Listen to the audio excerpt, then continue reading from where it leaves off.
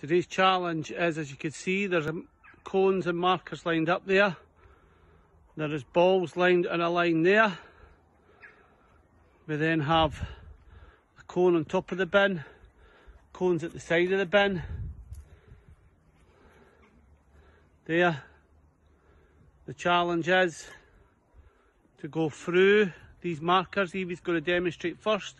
She's going to go through the markers, through there. She's going to take a couple of touches and try to knock the marker off the cone just like that. And here's Evie and Mollie going to attempt us They have one ball, one shot each. Once Evie finishes her shot, Mollie then goes. Go! So it's quick feet through the markers. We're there. She's going to take a couple of touches. Trying to knock the marker off. It's quick feet through the markers, through the markers. There. Good. Unlucky. Well done, Evie. Quicker feet, Mollie. Through. Unlucky. There's one down. Good effort.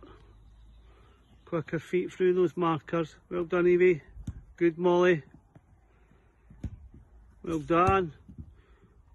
Oh, well done.